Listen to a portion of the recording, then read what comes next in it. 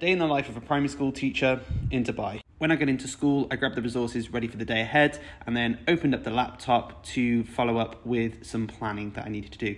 In maths, we started off with times tables. It's really important for year four. We then did a reading comprehension lesson like we do every Friday.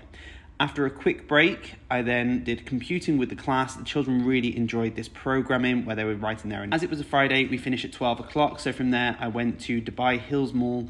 It's a really good mall, which is very popular with expats. Did a little bit of shopping, then went into Shake Shack. The coffee there is super cheap and decent. I set up a new Facebook group for AI for teachers. And then when I went home, I quickly went into Grandiose to buy myself an ice cream.